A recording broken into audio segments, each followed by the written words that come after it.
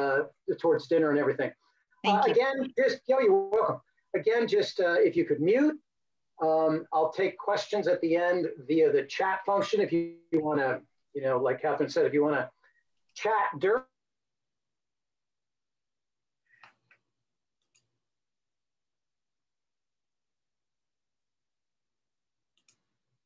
Richard, you're muted.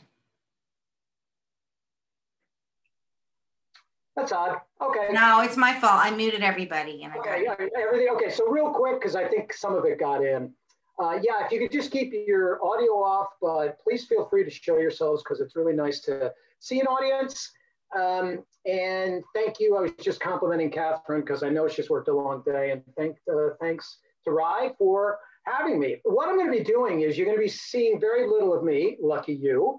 Um, I'm just going to be here at the intro. I'm going to be showing you largely images. And at the end, I'm going to show you a clip from our award-winning documentary, uh, Gatsby in Connecticut. By the way, that was uh, the New Yorker voted that number 30 of the top 36 films um, of 2020. And I'm talking about all films and documentaries. So we're, we're very, very proud of that. I'm in Westport, Connecticut. It's my first webinar, my first Zoom when it's still light out. So I'm a little disoriented, but it's, it's also really, really, really nice. And I grew up here. And I'll be telling that story because it's very much part of this story. But I wanted to start off on a historical note that I hope you, guys will find interesting. Obviously, uh, Catherine said I was a, uh, history teacher forever and I'm a historian. Um, in 1920, when Scott and Zelda were here, they were facing three identical challenges, as all Americans were. One, a global pandemic. The only safeguard for that was a mask and not to make light of COVID. I don't have to tell you that, but that killed 50 million people. So, number one, a pandemic. Number two, the worst race riots in American history, 37 cities since the Civil War and Reconstruction, at a time when Black lives did not matter. And number three, although it's been surprisingly resilient, the worst depression uh, until they didn't even have, you know, they called it the Great Depression then um, because the Great Depression hadn't happened. So again, I, I love that to kind of frame this story because, of course, as they say, history repeats itself. So I'm going to transition three times during this presentation, okay? Um, I'll be going to share a screen, then I'll be stopping, sharing, stopping, sharing. Okay, so please uh, hang with me uh, with those. And what I'm going to do is I'm actually going to start with the book he wrote before Gatsby, and you'll see why. All right, this is the this is my book. Obviously, uh, you know, uh, a shameless uh, book promo that I have to show you. And um, that's them in front of their house in Westport. I'm going to be showing you that. It still exists today. And the reason I called it Boats Against the Current, and one of the um, things that I hope you can take away from this is when I started this journey 42 years, 45 years ago, I was 14 years old. And I tried to further that Westport was important. I was laughed at. And it took seven years of going against the current, by the way. That's also the last line of The Great Gatsby. It's in the last sentence. So, you know, it's got a double uh, purpose there. But about halfway through this, I talked to the leading Fitzgerald academic who said, Deej, that's my nickname. I'll just use that for now. Long story, don't ask. It's embarrassing. But uh, he said, Deej, if you get Westport in the top 25 places that were important to the Fitzgeralds, uh, it's a noble and it's a completely lost cause. So my job today is to show you that, you know, don't give up. By the way, all of us have a book. I, I, I still like to say I'm not a writer. I just wrote a book. Um, and like Scott Fitzgerald said, all my characters are Scott Fitzgerald. I think you all have a book in you, and I think you should go ahead and write it. Okay? Um, so let's get started. Uh, not only did I find that Westport was not in the top 25, I found out that it was actually, and Zoom, of course, is, it was actually number one. Um, and all I had to do to figure this out was read everything that they wrote and read everything they wrote about them. That sounds like a big chore. It was delightful. And there it was. There it was. It popped up like almost invisible ink between the pages. Scott writes The Beautiful and Damned. Most of it's written in Westport. Most of it takes place in Westport, the town of Marietta in the novel. It's completely autobiographical. Um, and as Charles Scribner said, and I'll be talking about him, it's the dry run for the Great Gatsby. Zelda Fitzgerald in Save Me the Waltz writes about the same time period, the honeymoon period, which is what the characters do in The Beautiful and Damned, in her only novel, in her only play. She reverses the premise of, uh, in Scandalabra, she reverses the premise of um, The Beautiful and Damned. It's in five of Scott's short stories, and in one of the best short stories ever written, Cruise of the Rolling Junk, and I, I highly recommend that. Uh, and of course, we'll be talking about Gatsby. So what I'm going to be doing is I'm going to do some bad teaching in the beginning. We're going to move really, really fast because I know you want to get to Gatsby, okay? And um, I think you're going to enjoy this. Most people do. Okay, here they are. Uh, that is their, after they got uh, married in St. Patrick's Cathedral in April of 1920. She's 19, Scott's 24. So what I want you to kind of think about is their, their youth. They were strikingly youthful. Um, she's a college student that never went to college. Uh, Scott's a grad student that didn't go to grad school and failed out of Princeton. But that's how young they were when they were here. Now, they did a, a signal thing. They got kicked out of the city of New York. Now, I'm trying to find other people who have done that in history, and I just can't quote, maybe the British in the uh, American Revolution, but uh, other than that, they got kicked out of the two leading hotels, the Commodore and the Biltmore. The last straw was when they abused a brand new invention. This was called the revolving door. And what they did was they revolved for 30 minutes in this door. Nobody could get in and out of the hotel. So they said, get out of here. They buy a secondhand Marmon and they drive. They're going up to Lake Champlain in Vermont. But on the way, Scott finds out from a friend that it's too cold to swim there. And he says famously, if Zelda can't swim, she's miserable. So they literally blindly take a right off the post road and they end up in a town that will influence them more than any other place they live. Okay, here's his book, The Beautiful and Damned. Um, uh, a lot of it is about this newlywed couple living in a house in the town of Marietta, which is Westport, and it's completely autobiographical. What I love about what Scott said about the cover of this was he said, you know, the artist did a pretty good job with the girl, but that's a pretty debauched version of myself. So uh, I love it. And by the way, they were only here for five months. That's the average of where they lived uh, throughout their entire lives. They never owned property, they were always renters. Um, and keep in mind the idea of Great Neck being the setting for the Great Gatsby, and it has a huge influence. So I'm not denying Great Neck at all. Matter of fact, what I like to say is that Westport and Great Neck are uh, a beachy blend of um, uh, together that that help uh, make Gatsby.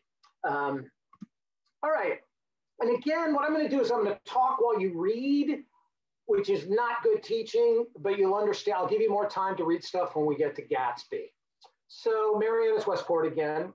And what they do is they rent this pre-colonial house, um, as it's described there, Paul Revere and all that stuff. Uh, it was from the Gray family, group of farmers. It was colored gray back then. It is gray today. And um, it was called the Gray House uh, uh, in the novel. Um, and what you see is the porch he's referring to is on the left there. There's a very famous photo of them taken there. Uh, the one on the uh, right was an add-on, and there's been an add-on in the back, but the entire house is perfectly intact from uh, when they lived there. And I lead very popular tours in Westport. I'll be talking about that later. You guys might want to uh, join us on a summer day. Okay, this is overwhelming. Uh, as long as I can give you a flavor of what you're about to see, this must look like a giant salad to you. But what it is, it's a Google Earth image where I tracked the action of a particular scene in the novel, which comes straight out of their real life. And what I'm going to be showing you is just partial sequences. Um, because when I read The Beautiful and Damned at the age of 14, I was stunned to read a virtual roadmap of Westport. Characters are taking a left here, they're taking a right here, they're um, you know going around a traffic circle here. And I was following a roadmap. I thought I discovered this amazing thing, but then somebody invented the internet. I found out that was very, very, very uh, common knowledge. But then um, when I read Gatsby at 16, two years later, I said, is Westport here? And I kind of put a couple of things together, but not fully. And I'll talk to you about how I was able to, and that was because of the great Barbara Probst Solomon. So again, I'm gonna move fast here just to give you the flavor. Okay, bottom right, where this yellow pin is here, here's the Fitzgerald house. This is where Scott and Zelda live. This is where Anthony and Gloria Patch live, all right, in, in the story. So when I say Gloria, it's Zelda. When I say Anthony, it's Scott because they did the exact same thing and Scott just recorded it. So I'm going to be showing you Zelda runs out of the house. Scott's in hot pursuit, takes a left down this road, goes all the way here to the train bridge and pops over to the Westport train station. All right, so let me just break that down for you. Um, what happened was they would have parties that would start Thursday night. And the house rules, house rules were that you had to be out by Sunday night. But remember, he's 24 and she was 19. So they would start Thursday night and they would end Wednesday morning. And on and on and on it went. Okay. So one of these parties, this big hulking Princeton classmate of Scott begins to ha- hit on Zelda. Not uncommon. Uh, most men found her completely irresistible. And in terror and very drunk, she flees the party.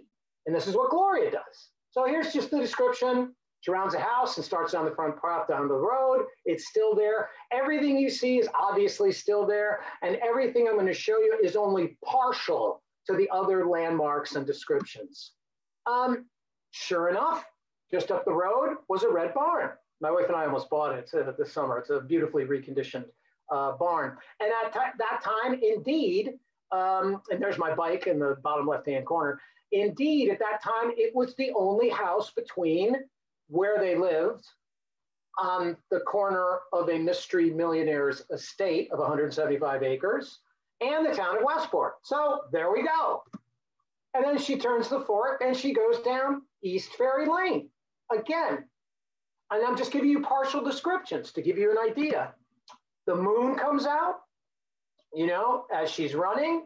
Scott writes about this, okay? And I'll give you a second to read this. This is critically important.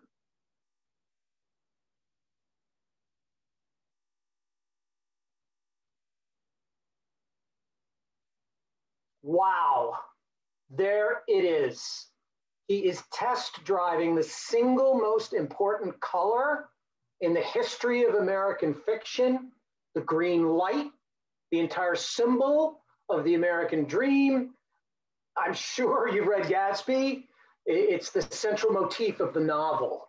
And he's already using it here five years before.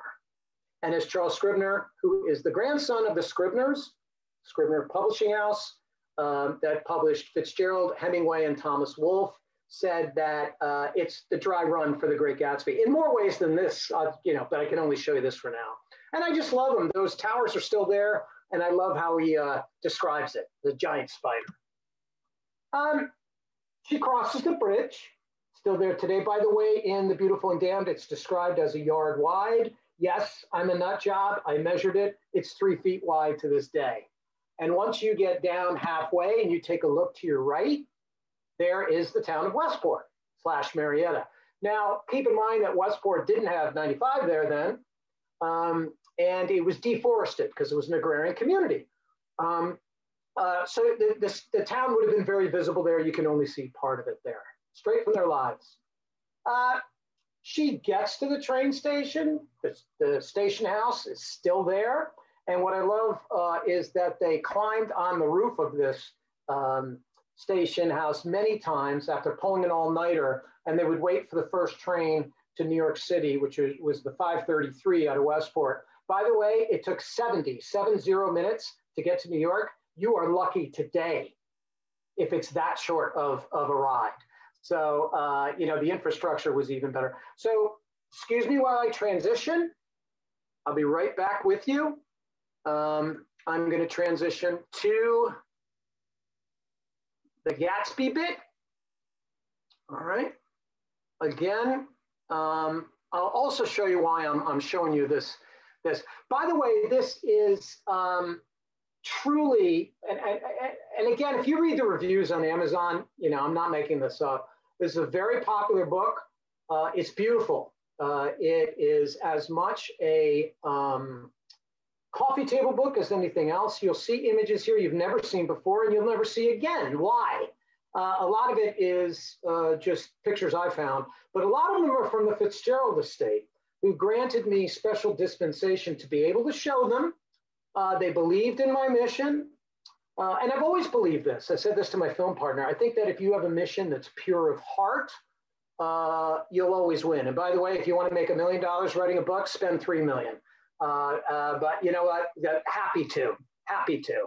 Um, and so this is a limited edition of 2,500 copies. And I mean, after that, there won't be any more. It's not a sales pitch. I cannot produce any more. So um, pick it up. Uh, I think you'll love it. Just as most people say they love it, and I ask, well, so what did you think? They're like, ah, I kind of just looked at the pictures, but uh, that's okay too. Okay, here they are uh, when they're married. Okay, stunningly handsome. They were America's first pop stars before Babe Ruth, right? With the explosion of the radio and media, these are America's first pop stars. Um, they were incandescent, covered breathlessly by the national uh, press. But this was the, the article that changed my life. From 1996, it's from Barbara Probst Solomon, who just passed away, but was thrilled that we were able to validate her story. And um, I'll be talking about that in just a second. You can actually get it online. It's, I believe, September 1996. Uh, it's called Westport Wildlife, as uh, you can see. Now, Barbara grew, grew up across from the mystery millionaire F.E. Lewis, that I'll be talking about shortly, literally across. Yes, her family was immensely wealthy. I'll be talking about that. And um, they had the longest dock in the vicinity. And yes, it had a green light and it even had a lighthouse on their property. Um, here's the, what happened with Barbara. And here's kind of like, I think the main lesson, what I learned. Her idea that Westport was a, a big contribution, uh, you know, a, along with Great Neck, but even bigger. Uh, and by the way, the head of the Great Neck Historical Society said, um, she's, we've got her on film. She said, um, by the way, uh, Great Neck concedes to Westport as the setting for the Great Gatsby. Uh, by the way, uh, she then moved to Connecticut. I don't know if the two are related, okay? Um, and I'm looking at my dog Daisy. You're staying here. You're not, you're not going outside. Okay. I've got two dogs named Daisy and Zelda. Yes, I'm that insane. So um, what she did though was this theory went against the main Fitzgerald biographer, who's fabulous, named Matthew Bruccoli, because he thought it was all about Great Neck, and he squashed it. He squashed it. And it lay idle and dead until I picked it up and just started doing presentations to schools and universities uh, with PowerPoints, and out of that PowerPoint came the film. Um, all right, we're going to spend some time in this photo. Uh, this is the 175 acre estate of F.E. Lewis. And while you take a look at that photo, it's perfect. I got to let Daisy out because I think she's hungry. I'll be right back. Promise.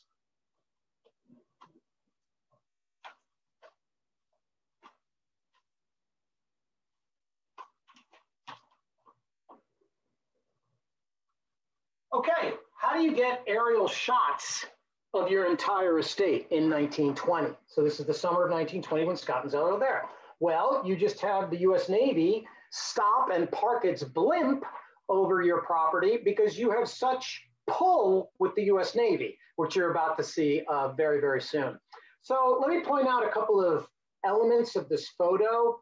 Scott and Zelda lived up this path um, on the corner of a Mystery Millionaire's estate. Okay, that's in all the films, it's in Gatsby.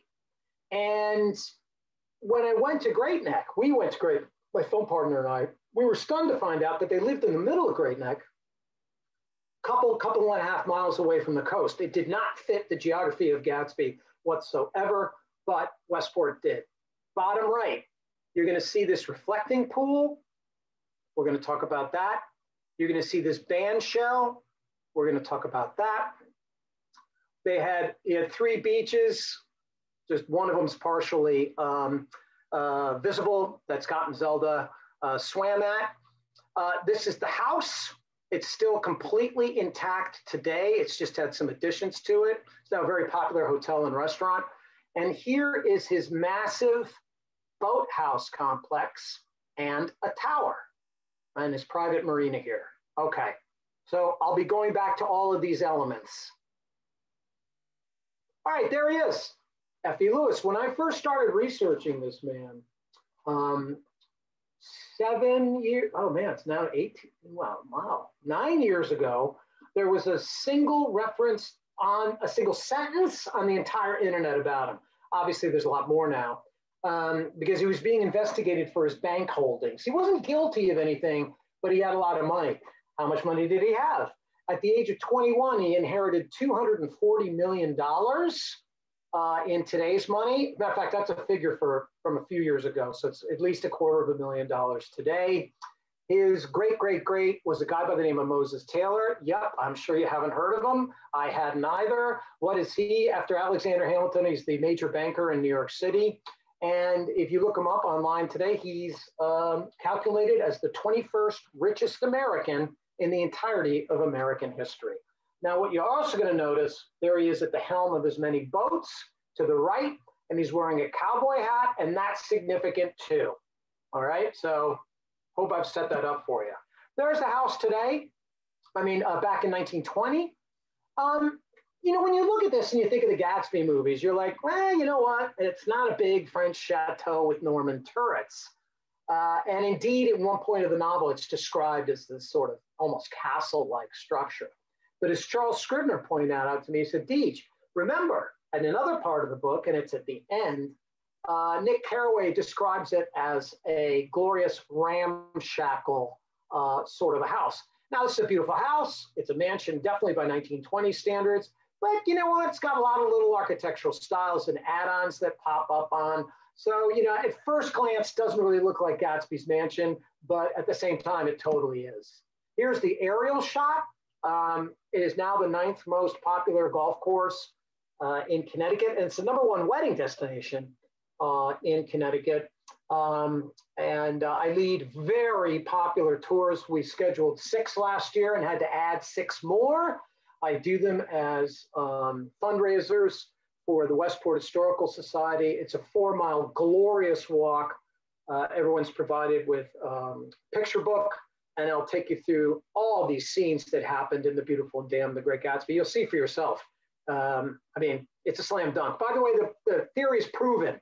You're not watching a theory anymore. I was able to prove it. Now, at the top of this photo, all right, you're going to see these masts. These are sailboats. This is now the Saugatuck Yacht Club. There's three in Westport now. But this is the private marina of Barbara Probst Solomon's um, family. And just to let you know, uh, her estate, Great Marsh, extended from these masts all the way over to here. And it was called Great Marsh. Lawns sculpted by Frederick Law Olmsted. Um, uh, stunning view of the Fitzgerald uh. Lewis uh, place. And again, had the longest dock in the vicinity with a green light on it. Okay, Frederick E. Lewis put these in in 1917. It was uh, big news in the town because he put this massive wall around the front of his property. Now, these are large posts. Uh, large posts are also called posterns. Straight out of Gatsby. It's one of the uh, popular stops on my tour. Um, Nick says in the novel, he says, in instead of taking the shortcut along the sound, and that's what Scott and Zelda did. They took a shortcut from the corner of F.E. Lewis's estate straight to his beach and his house. But as Nick said, instead of taking the shortcut by the sound, uh, we went down the road and went in by the great posterns. There they are. There they are. Uh, and it's a grand entrance to this day, straight out of Gatsby. Look at this party. Look, Gatsby, it is. It's the summer of 1920. Scott and Zelda, matter of fact, Zelda got kicked out of one of his parties for being too, too drunk, but he, he also thought she was pretty cute. So she was allowed back. Um, but here you see, you know, all these wonderful 20s parties goers, the men in the white duck pants, the dancers. And what I also love about this photo is that uh, right here, you see this full piece jazz band. And at one point, Nick Carraway describes the jazz band at Gatsby's party as no mean affair, but like full with all the instruments. And there you see it. So there's the Gatsby template if you ever saw one. Uh, here are a couple of his horses. He was a champion horseman as well, F.E. Lewis. I'll be showing you uh, that, but he had stables uh, all throughout the sculpted gardens of his massive estate. Um, so let's go back to the cowboy hat why he's wearing one. Well, like Gatsby, he's from the West because not only did he own Longshore, named because it has a mile of oceanfront, uh, you know, waterfront, sorry, it's Long Island Sound. Um, uh, so Longshore, uh, but he owned 8,000 acres in a place called Spadra, California. Okay, uh, 8,000 acres, so large that he had to build a halfway house. Uh, so when you traveled 4,000 acres, he preferred to have people do it by horse to make it more, you know, cool. Uh, you would spend the night at the halfway house and then go the other 4,000 acres. Um, champion hog breeder doesn't sound too sexy, but he was. What was sexy was he developed um, livestock feeding techniques that are still in use today. So he wintered in Spadra, California, but what happened was he would brand his livestock with um, an iron that had a diamond over a bar, and he called it Diamond Bar Ranch. And that's now the entire city of Diamond Bar, California. Two famous alumni from there Alexis Morgan, the soccer player, and in uh, one of my favorite stories, the rapper Snoop Dogg. Now, there he is on the right. Now, he's on his champion Arabian, Musan, the horse that Buffalo Bill Cody called his favorite of all time and rode during all his Wild West shows. Now, what Lewis did, he was a champion horseman. We're going to get back to a really cool story about him riding a horse a little bit later.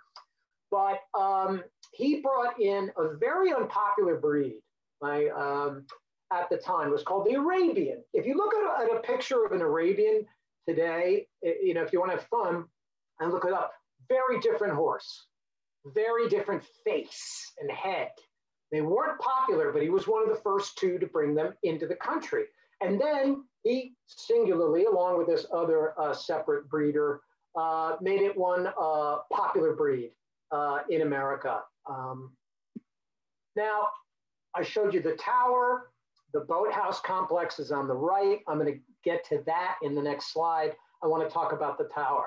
Famously in Gatsby, Nick Carraway says, uh, Gatsby's death, uh, guests dove from the tower of his raft. Now it's on a raft, but what was indeed right in front of it were two giant rafts, floating platforms for his guests. And you can see that one of the three beaches right here, straight out of Gatsby, the tower. Now, this just gets better, trust me. this is his boathouse complex, all right? In here, he would winterize his boats. These are spars where he would lift them into dry dock.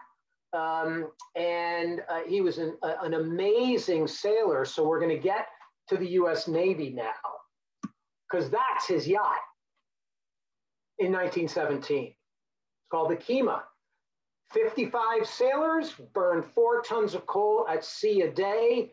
And in 2014 dollars, cost a million and a half dollars just to maintain at the dock. Well, you'll notice there's US Navy sailors there. What did he do? Well, I mean, literally, he bought this thing uh, he kept it for a few months and then he donated it to the US Navy, uh, who used it in World War I to patrol against U boats in Battery Park in New York City. And by the way, he said, you can keep it. And they did. Um, there he is with the cowboy hat. Back to that photo. Now you know why he's got the cowboy hat. That's him at the helm, and those are one of his boats uh, in Westport. And those are but just what's about a, a third of all the boats he owned. Okay, so he had the yacht, then he had these, and then he had more steam launches. He also had um, two very powerful speedboats, which were called hydroplanes at that time, aircraft engines, just immensely fast. That's important to our story too, because famously, Gatsby says, uh, "Hey, old sport," to Nick Carraway, why don't we jump in um, uh, my hydroplane and take a spin around the sound? So in an audience of 1925, when they saw that, they'd be like, oh my God, this guy's got a speedboat. But Fitzgerald meant even more by that use of the term hydroplane, and I'll show you in, in just a second. By the way, I also started to think, is this the guy who is the template for Dan Cody? If you remember in Gatsby, um, Dan Cody is where Jay Gatz, before he calls himself Gatsby, um, he crews on Dan Cody's yacht and he says, you know what? This is what I want. And it launches James Jay Gatz, James Gatz to become Jay Gatsby. So, you know, not much of a hop, skip, and a jump uh, to predicate that. Now, look at this. This is one of his seven strangers uh, over time. Okay. Uh, this one's out. He didn't have seven L at the same time, but he kept turning over boats. And you'll notice this one's out of LA. So it's this is the one off his uh, the coast of California. And in 1938, he took this on a deep sea cruise to Southeast Asia. It was uh, ostensibly a marine biologist. He brought the first seals back to the um, San Francisco Zoo, for example. But what he was also doing in 1938 was he was covertly spying for the US government on Japanese naval and air installations in Southeast Asia. Um, the Americans knew something was going to happen, and certainly three years later, the Japanese would attack America uh, in 1941 at Pearl Harbor. Okay, well, here's a plane, a hydro water plane, plane. It's a seaplane. Now, this is in 1917. Um, and if you owned a plane, remember in 1917, the airplane's brand new. It's being used in warfare for the first time. To privately own an airplane, incredibly rare. To privately own a seaplane, unheard of. Okay? So when Fitzgerald uses the term hydroplane, keep in mind it had a double meaning for those in the know. Gatsby is 50,000 words. I recommend reading it every now and then. If you have like a beautiful long summer day, you, you can you can finish it. It's 50,000 perfect words. So like Mark Twain said, sorry for writing you a long letter. I didn't have time to write you a short one. To write a shorter book is much, much more difficult. So every sentence, almost every sentence, literally has meaning, pregnant with meaning. So when Fitzgerald writes that uh, Gatsby has a hydroplane, you're some of the audience thought, oh, cool, that's a you know fast boat. Others would have been like, oh my God, he's got a seaplane. Fitzgerald meant that he had both. Um, you know, that's like kind of like owning a Elon Russ, a Musk rocket these days. By the way, he leased his riverfront uh, foot, um, uh, shoreline to the U.S. Army Air Corps, and indeed, they practiced takeoffs and landings during World War One uh, right off of his estate with his blessing.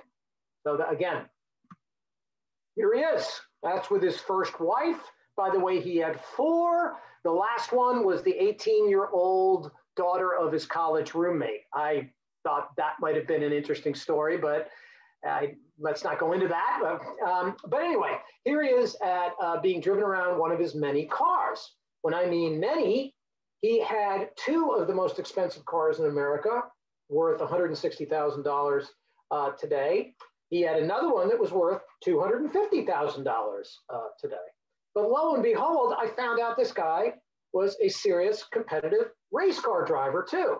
So, horseman, yachtsman, and it was so much fun doing all this research. I just went down the rabbit hole. So, in all these motoring magazines and newspaper clippings, from like 1907 to like 1915.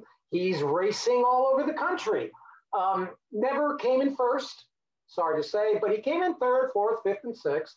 Uh, I love it. In like 1908, he lost to a car. The car that won was at going at a top speed of 40 miles an hour. you know, such were cars back then, right? Um, another favorite story of mine was he attempted to go cross country in um, 1917.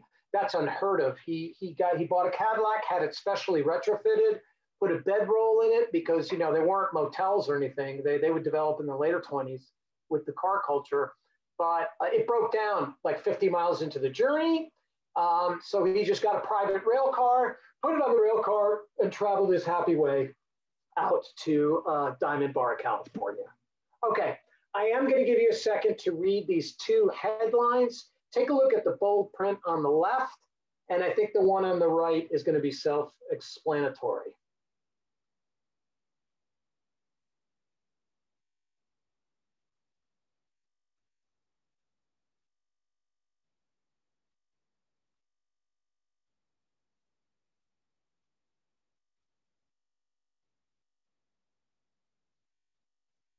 Okay, so this is from the uh, Westport Herald, um, and it is describing what is, in, I think, the greatest party in Connecticut history.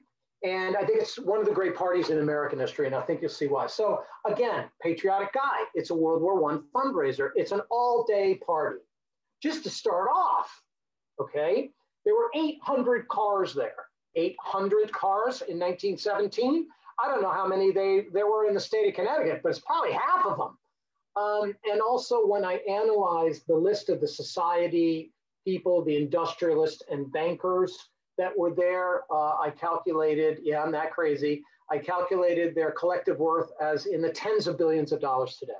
All right, so what does he do? It's all day long. First of all, he gives people lifts uh, through multiple airplanes. Now, keep in mind, this is 1917. Let's say you came over on the Mayflower, all right? So from uh, 16, uh, early 17th century until you, no generation of your family has flown until you had. Uh, right there. It's the event, it's a generational event in the entire history of your family and its ancestors. That's spectacular. Ina Claire is there. Who's she? She is really uh, the most famous actress in American history in many ways. She was the first to act naturally instead of sort of this declaratory Edwardian style.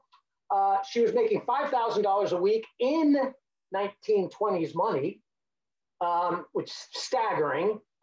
And it was Fitzgerald's favorite actress. He had pictures of her all over his dorm room and he wanted her to play Nicole in Tender is the Night in the 1934 film version. David Belasco, his ghost is said to haunt the Belasco Theater to this day.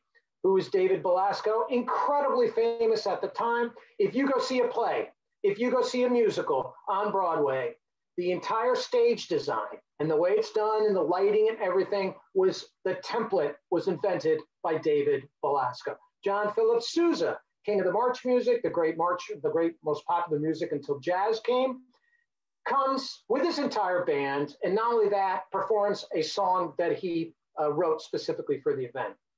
Houdini, not only was he pushed off the dock in his famous escape um, escape uh, trick, but Lewis went one thing further. He had a giant crane on the property to drain uh, his marina and the channel out to Long Island Sound. So what he did was he put Houdini hung him from this crane and took him way out um, offshore and dropped him. And of course, Houdini comes out. Annette Kellerman created the sport of synchronized swimming was it created the most revolutionary until the bikini um, revolution in women's swimwear, the one piece.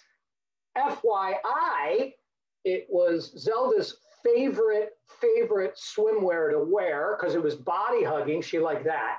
Very good shape. She was an immense swimmer. And what she did, I love this. She loved to get tan.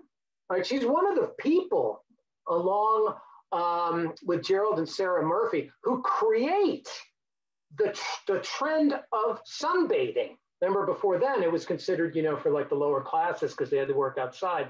And what she did, and I love this about her, um, was that she picked a this tan beige brown color that made her look nude, and she did that on purpose. Marceline the Clown is there. Yep, never heard of him? Well, watch this. The single most famous actor in the entire history of cinema, um, Charlie Chaplin, admitted freely. He said, I just copied Marceline the Clown. Marceline the Clown in an era, he had his own comic strip written about him, very popular, full color. Uh, and in a, in, a, in a time when you do, um, you know, a one year residency, uh, like Celine Dion in Vegas or maybe Britney Spears, he did 10 years at the New York Hippodrome, which was the main thing.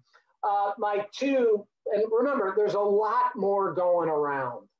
Uh, literally, the whole thing was like a three ring circus of entertainment. And literally, there was a three ring circus there. So, what he did was, uh, believe it or not, um, animals were kept in MacDougal Street in the city back then in the village. And they were rented out to Broadway plays and musicals, and especially the Metropolitan Opera. But what he did was he had half of these circus animals shipped by barge out of New York City. They, they um, land on the shore of his estate. Um, they get off the ship. The other half he takes by private uh, rail cars, um, and they're detrained and they are marched uh, through the streets of Westport. You can imagine, you know, everybody was excited about that. But the pièce de résistance, back to the cowboy hat, all of a sudden, people hear the thunder of hooves. And everyone's looking around, where are they coming from? Where are they coming from? And over the crest of the hill comes a stagecoach being furiously driven by the drivers. And they're being furiously chased by Indians, who are being furiously chased by cowboys, uh, who rescue the stagecoach. Of course, who's in the lead? It's F.E. Lewis uh, with a big white hat, the good guy. Here's the kicker that's a real stagecoach from the American West in the 19th century that he shipped out from California. Those were real California cowboys. And in my favorite story, those were real Native Americans fresh off the frontier. Uh, I'll tell you right now, nobody in Westport, Connecticut had seen a real Native American uh, before this party. So the over the topness of this party, uh, I think nothing beats it. Okay. All right, I'll give you a second to read these. These are headlines from the summer of 1920 when Scott and Zelda were here.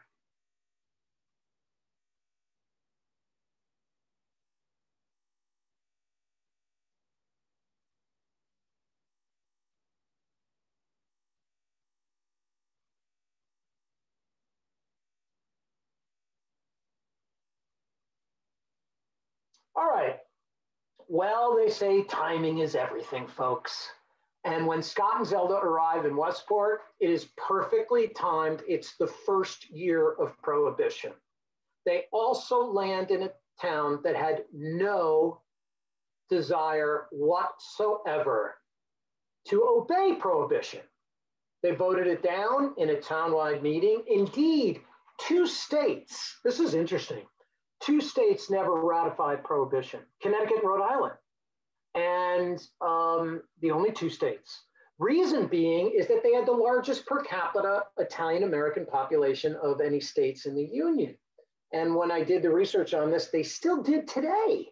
And what's the point? You're not going to take away the sacramental wine. You are not going to take away the tradition of growing your grapes and making your own wine. It ain't going to happen.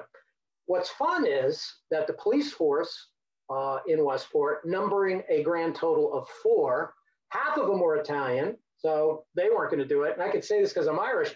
The other half are Irish. Oh my God! And look, it's St. Patrick's Day, right? I can tell you right now, there's no Irishman in Westport at that time that has any interest in enforcing, enforcing prohibition.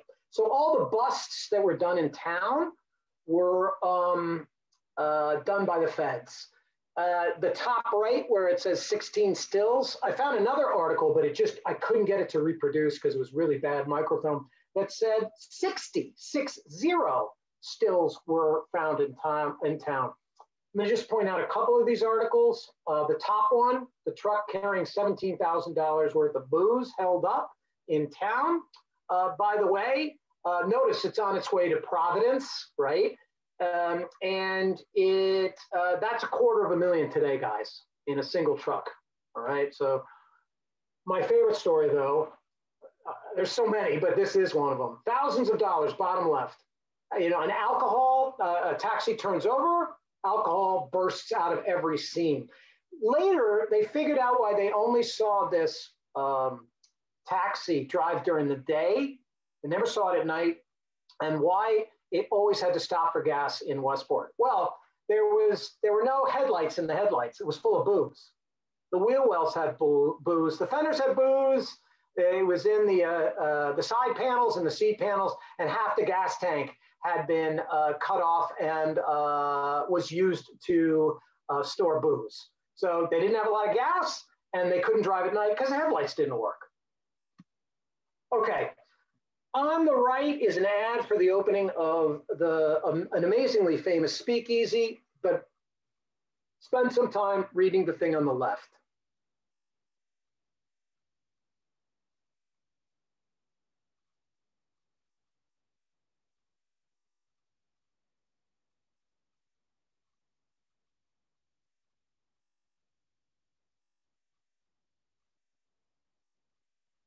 Okay.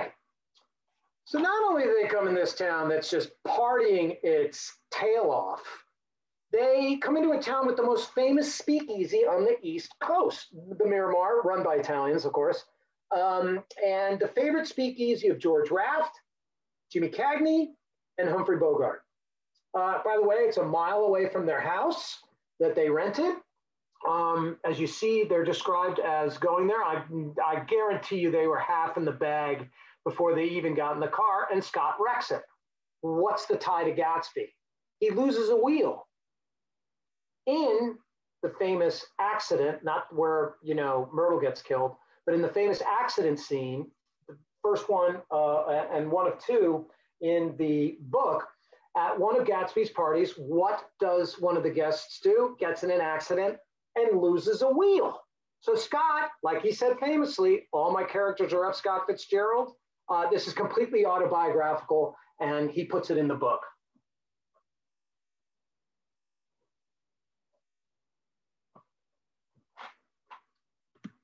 Okay, this is the other incredibly famous speakeasy. It's the Compo Inn. It had this big hill um, that was tough to navigate. Uh, two eyewitness accounts of Zelda careening down this hill, straddling the hood of a taxi, hanging on to the hood ornament. One of those two descriptions has her as naked. Uh, you know, you can pick whatever one you want, uh, but certainly um, she did something risky. Now, the guy to the right, his name is Bald Jack Rose. He was so famous, he had a cocktail named after him called the, not surprisingly, the Bald Jack Rose. And who is he? Well, he controls the rum running operations in Westport. He's the brother in law of Jake Levy, uh, who owns uh, the Compo Inn. But he's incredibly important to the Gatsby story because I think he's the template for Meyer Wolfsheim. And it's not hard to see why. When you read Gatsby, Meyer Wolfsheim talks about the murder of Rosie Rosenthal at the Metropole. Well, Rose was involved in that murder. He turned state's evidence against the guy who orchestrated the murder, a guy by the name of Becker, um, who was electrocuted at Sing Sing um, for his crime. But he's directly linked to what Wolfsheim was talking about, was a, a famous run runner, controlled the operations in Westport. Uh, and by the way, he was from an old farming family uh, right next door in Norwalk. Okay, take a second to read these headlines.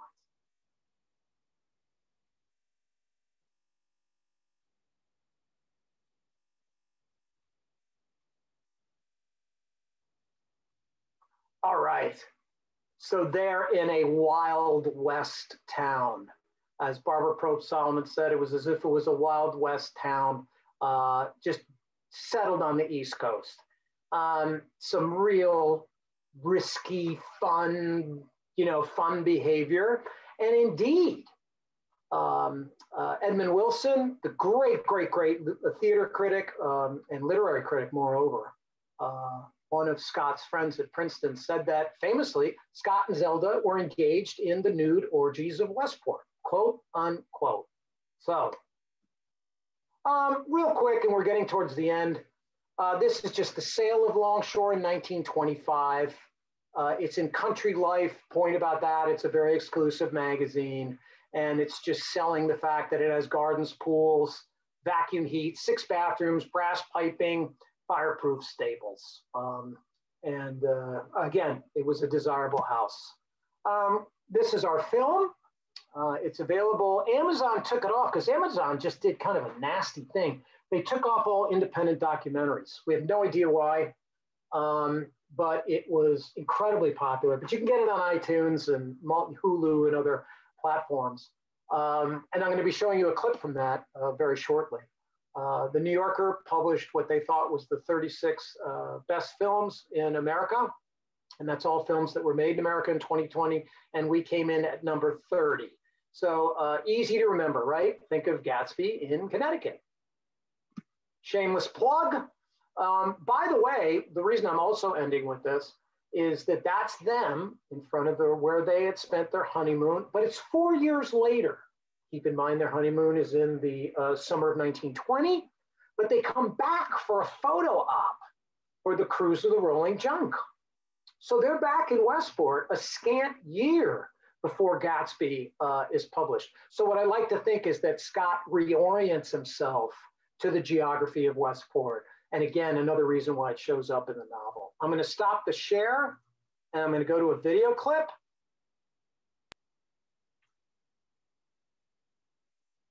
I got to play with this a little while because let me make sure it's share sound. Okay, who are you about to see? You are going to see uh, Sam Waterston in it. You might know him from Law and Order, but he was also the 1974 uh, Nick Carraway. You're going to see Bobby Lanahan, uh, one of the Fitzgerald grandchildren, and the only one who talks to the media. Okay. Uh, and I just think you're going to really enjoy this uh, clip. Who was Jay Gatsby modeled on? I find it interesting that so many people are digging into who were the sources for Gatsby.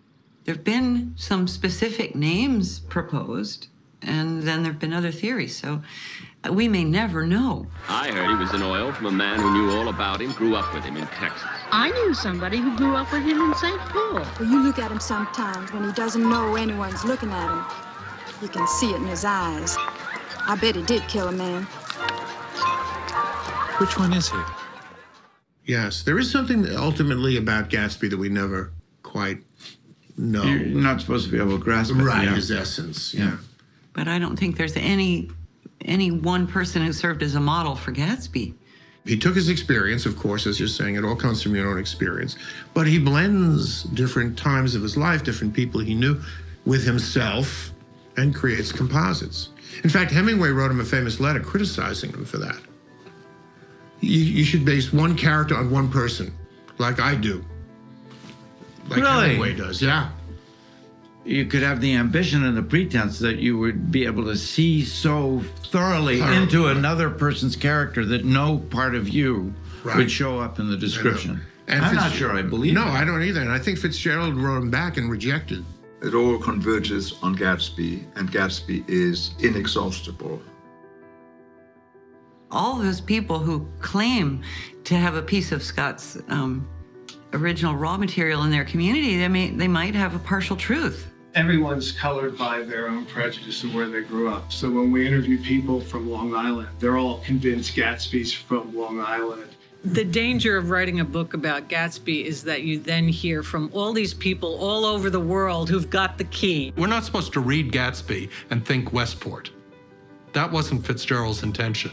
He wanted us to read Gatsby and think Long Island. But since he didn't have those experiences on Long Island, since they came out of his magic year of 1920 on Westport, where he had a beach, he had a cottage next to a mysterious recluse, that's what he's using as his model. I think the interesting thing about all of these speculations and surmises and everything is that it's great if it enlivens the book. It's awful if it weighs it down. Mm-hmm. My father was on the scene when we started to lose our way during Gatsby's time, and he recorded it all the generosity, the greed, the innocence, and the cynicism, the magnificence, and the waste that was America between the two world wars. People read him now for clues and guidelines, as if by understanding him and his beautiful and damned period, they could see more clearly what's wrong.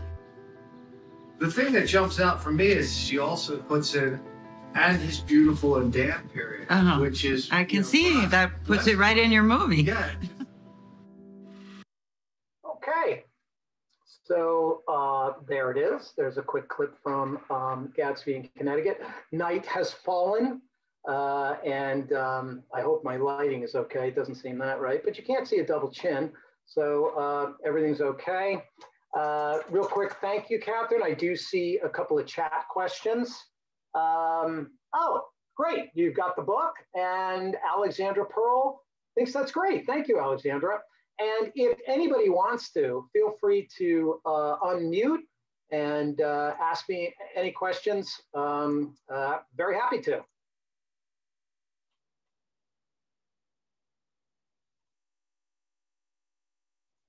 Well, that's what Zoom is doing to us right now, Catherine. I, you know, I think there's a new definition to zoom out because people, eh, yeah, right. People are zoomed out. Um, but I do want to just leave on on one note uh, that I think I think you know you'll like. Remember those three things I told you about that were happening in, in 1920: the pandemic, race riots, a collapsed economy. Remember what happened just after that, folks. With all these brand new technologies, the car, the plane, the radio, uh, and all the new technologies we have today, revolutionary. What happened after all this was called the Roaring Twenties. And I am darn near convinced, Catherine, that we are on the cusp of the Roaring 2020s. Oh my goodness. So on that note, really, folks, I just want to uh, thank Catherine again. Uh, this is a, it doesn't look like a lot of work because she worked hard doing it, but I know she's put in a long day and uh, really, really appreciate it, Catherine. Oh, thank you so much for being here. Sometimes I know when we ask for questions, it takes people a few seconds to sort of unmute and um, and get their acts together. Does anybody have a question before we sign off? Just want to make sure we don't go off. I just have a quick question about Sam Waterston. Is he someone who, like, how come he's in the documentary? Does he have a personal interest? Okay, so I was literally gonna just, that was the last thing I was gonna talk about. So, friend of mine knows him. And so gave me his phone number. I called him, he called me right back. And he interviews me for about 42 minutes. um, and you know, that's something though. He's giving you 42 minutes, right? Um, he is erudite and literate. He's as great an intellectual as he is an actor. He, by the way, he's from one of the oldest families in America, Boston Back Bay. Total class act. So I said, "Hey Sam, look, why don't you come down? I want to show you, you know, where you stayed in, uh, in the great in the Great Gatsby." And he said, "Look, Deej, I'll, I'll give you an hour. I'll give you an hour." I said, "Sure." So I sent a car up for him. We got him. Comes down five and a half hours later. he leaves. So we took him. I took him to lunch at um, uh, the restaurant that was there now, and uh, it was just magical. And by the way, I'm now planning. I mean, this is going to be because we we were going to do because it was 2020. We were going to do this all this centennial stuff for Gatsby, but now it's going to go off the charts. I am planning what I hope to be the second biggest party in Connecticut history uh, at at at um, Longshore in Westport. Um, matter of fact, I think we're going to be able to probably do it for two nights. Um, I mean, I've got I've got a 1920s band. Let me put it to you this way: with full dance, chorus, everything, where the master trumpeter and MC dresses as if he's in the 1920s um, every day of his life. Oh my goodness. So Alexandra, uh, Ali, to everybody, what are the details on this party? Um, actually, tomorrow morning we begin the first planning stages of it.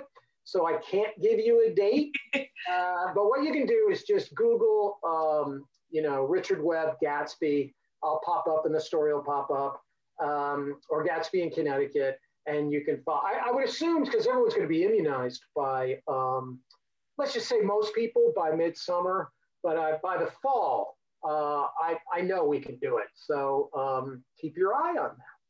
So, Catherine, thanks a million. Now, now go eat some dinner, have a glass of wine, um, and good luck tomorrow with what you're doing. Thank you. And thank you all for being here tonight. Good night. Good night. Thank you.